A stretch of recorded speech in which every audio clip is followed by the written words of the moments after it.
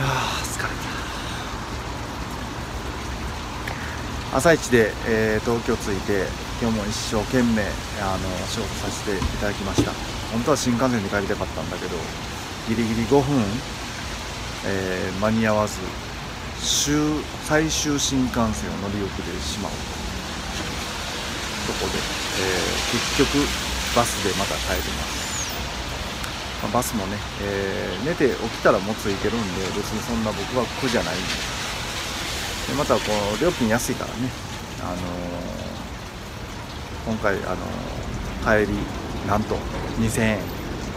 行き2200円やったんで往復、えー、4200円で往復と往復で本当、えー、着いて朝から、えー、まず朝バック。たら、えー、めっちゃ人。朝6時何分見たかな忘れたけど超人で密でしたね。朝からもうマックスで密。で電車に乗ると本当超ラッシュでもう本当つり革を持たないと、えー、大変なぐらいな感じだったんですね、ま、大阪ではつり革持ってる人あんまりいなかったけどこっちはもうみんなつり革を持ったはった。でなんともうマスクの装着率はもう100%やね。大阪はマスクしてない人もちらほら見るけどこっちはもう全員してるんで驚いたかな。うん。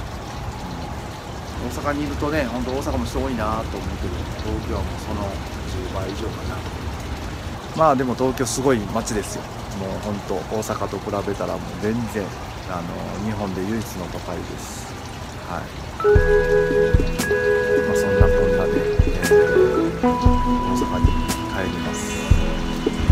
Tazama.